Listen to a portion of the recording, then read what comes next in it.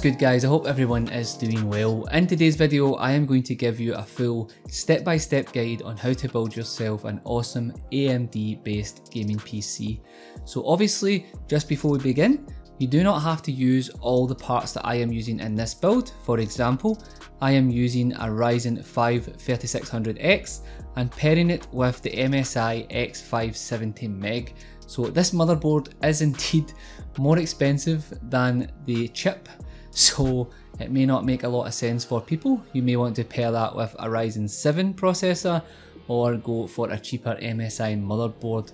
But with that said, let's look at the rest of the parts. So the other parts that I will be using in this guide include the Zotac 2070 Super AMP Extreme graphics card, the XPG Levante 240 CPU cooler, the Spectrix S40G 512GB RGB NVMe, 16GB of Spectrix D60G 3200MHz RAM and the case that I am using is the XPG Battle Cruiser in white and that comes in super handy as it has 4 RGB fans already installed for us and the power supply that I'm going to use is the Cooler Master V750.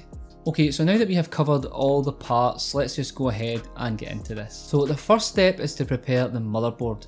So let's go ahead and install our CPU. When handling the CPU, do take note that on the rear we have these pins. Do not bend or damage these at all as you will ruin the processor. You will also see that we have this gold dot in the corner and to install all we have to do is match this up with the marking on the motherboard.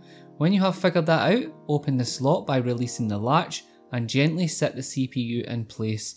No force is needed at all then simply close the latch over again. Next up we will go ahead and install our RAM. Take note that the RAM sticks have this cutout and this will line up with the notch in the DIMM slots that you see here. In order to know the best slots for the RAM, always refer to your motherboard manual as it is all written down for you. If you aren't using this motherboard you may only have a latch on one side but this board has two so go ahead and open them up by pushing down and from there you can go ahead, line the RAM up put it in the slot and push down and it will lock into place. So now we go ahead and move on to our NVMe drive. As this is an RGB NVMe, I will be installing it in the bottom slot just so that we can see it. If you don't have an RGB NVMe drive or M.2 drive, then feel free to use any slot that you wish. So to go ahead and install it, all you have to do is remove the cover from the motherboard. It is one screw and just take note that on the back of the cover we do have this thermal pad that does have a plastic cover and if you aren't using an RGB M.2 then you will definitely want to use this and all you have to do is simply peel the plastic away and reinstall the shield. So to install the NVMe, take note again of the cutout on the drive and line it up with the notch in the motherboard. It just simply pushes into place and from there you can use the included screw and secure the drive into place. I would just like to reiterate that if you are not using an RGB drive then it's definitely worth using these covers as it will keep the heat down on the NVMe itself so definitely go ahead and reinstall it. Okay so now it's time to get this motherboard in the case. Inside the case itself you will find a box with everything you will need for this. As our motherboard has a built-in IO shield we don't have to install it but if you have one included in the box then you can just install it like so. It's a bit fiddly and it will require some pressure, so just go ahead and press that in. If you're using the same board as me, then you won't have to worry. Next up, just lower your motherboard into the case and it should line up with the standoffs. You will feel it sit nicely in position. From there, take the motherboard screws. Again, this will be labelled in your case booklet and we will go ahead and screw the motherboard into position. When doing this, I advise using a crisscross method, so start at one corner, then move diagonal etc until it is all secure. Now we are going to go ahead and install our power supply. The first job is to take the included bracket and secure it to the power supply using the four screws provided. From there, slide it in from the back, wires first, and fan facing to the bottom into position. You can then use the four screws to secure it to the case. So to make things easier, we are going to go ahead and install some of the wires now from the power supply. So go ahead and grab the 8 pin CPU cable, or in our case on this power supply it's two 4 pins, and plug it into your CPU power slot located here. Next we will power the motherboard using this 24 pin cable. Mine has an extension on it purely for looks, and it plugs into the slot located here, Just make sure you give it a good firm press to ensure it is seated correctly. So now that we have that out of the way, we are going to go ahead and install our CPU cooler. The first job is to remove the brackets already attached to the motherboard. They have two screws each, so go ahead and remove them. When you have done that, the backplate stays in place and all you have to do from here is attach the AMD standoffs which are labelled and included in the box, just hand tighten them into place. Now that we have done this, we can set the cooler up. We have to install the fans, I will be installing this on the top of the case, so if you are doing the same, follow along and if not and you're installing it on the front then you will want to mount the fans on the other side obviously so that you are getting airflow in the right direction.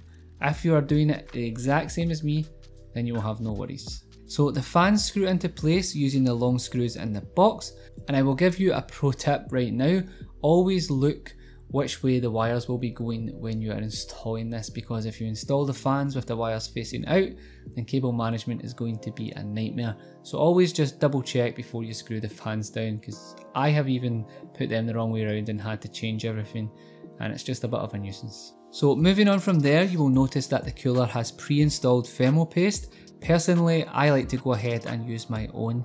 It likely makes no difference at all, but it's just something that I always do if you want to keep that thermal paste, I'm sure it will make little to no difference at all. If you want to go ahead and clean it yourself, then you can do it using some Tim Clean. Now you will want to install the AMD bracket. It just twists into place. Just make sure that you put it in the correct position, allowing the XPG text to be straight. So the last job before installing this is to connect up all of our cables. So the fans and RGB cables just go in a loop, as you can see, then you just basically use the included fan extension cable in the box to complete the loop. I have put together a separate install video of this so if you're really stuck you can refer to that.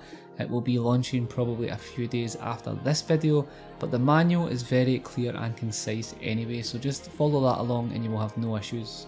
Now we can go ahead and connect this 3 pin cable that comes off the pump head to the CPU header on the motherboard and the extension cable from the fans just simply plugs into the fan header right beside it.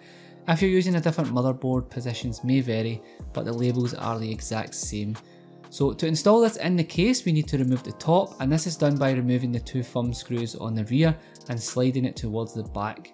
Next we will apply thermal paste to the CPU, or if you're using the pre-applied stuff, just totally forget that.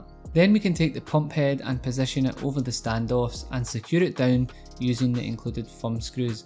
Again, use a crisscross pattern. When it's secured, give it a little extra tightening with a screwdriver, but not too much. And from there, position the radiator at the top and secure it using the small screws and washers included. You can then tidy your cables and reapply the top of the case in reverse order. So if you plan on installing extra drives, I suggest going ahead and do this now.